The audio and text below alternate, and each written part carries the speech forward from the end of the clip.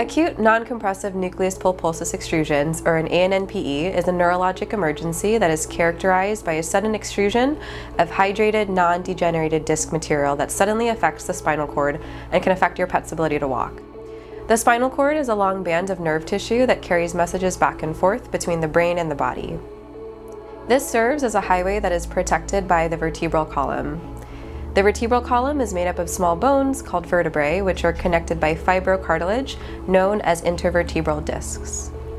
Intervertebral discs work as shock absorbers and allow the spinal cord to bend. They are made up of an outer fibrous ring called the annulus fibrosus and an inner gel-like filling known as the nucleus pulposus. Years ago, IVDD was classified into different types, both resulting from disc degeneration and compressing the spinal cord. There was acute or Hansen type 1 intervertebral disc extrusion, or IVDE, and there was chronic or Hansen type 2 intervertebral disc protrusion, or IVDP. However, in more recent years, mostly due to advances in diagnostic techniques such as MRI, other forms of intervertebral disc disease have been recognized, such as an acute non-compressive nucleus pulposus extrusion, or an ANNPE. ANNPEs occur when some of the nucleus pulposus ruptures out of an intervertebral disc. The difference between an ANNPE and disc extrusions or protrusions is that it is only a small amount of healthy, hydrated disc material, so it does not compress the spinal cord. Instead, it shoots out at a high speed, causing injury to the spinal cord, such as bruising, swelling, or bleeding. ANNPE is also not the result of degeneration, but rather excessive force placed on a normal, healthy disc. High impact exercise, a fall, or other trauma can tear annulus fibrosus, which will cause a small amount of nucleus pulposus to shoot out and strike the spinal cord.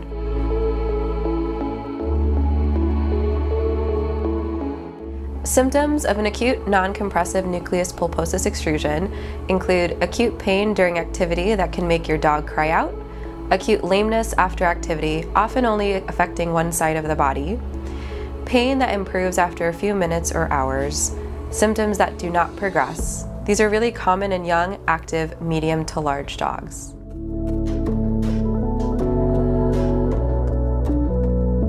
Definitive diagnosis of all forms of intervertebral disc disease is based on imaging. MRI is considered the gold standard as it can distinguish between compression, obstruction, contusion, and a tumor. MRI can also help predict prognosis based on the size of the affected area and the severity of damage. MRI criteria of an acute non-compressive nucleus pulposus extrusion include a hyperintense lesion above the disc, reduced volume of a disc's nucleus pulposus or gel-like filling, small volume extradural material above the intervertebral disc that is not causing compression, and narrowing of the disc space. An ANNPE is typically treated conservatively with rest, nursing care, and physical rehabilitation.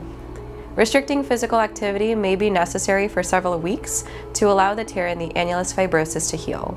Surgery is not helpful since there is no compression to relieve and no medications have been shown to speed up recovery.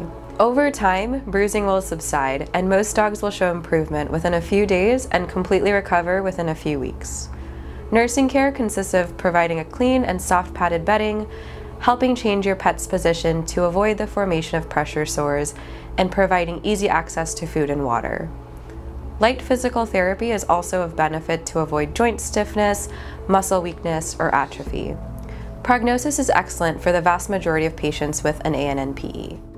Although all forms of intervertebral disc disease have similarities, they have contrasting treatment protocols and prognoses. For example, an acute non-compressive nucleus pulposus extrusion has a good prognosis without surgery, whereas a traditional intervertebral disc extrusion may have a poor prognosis without immediate surgery.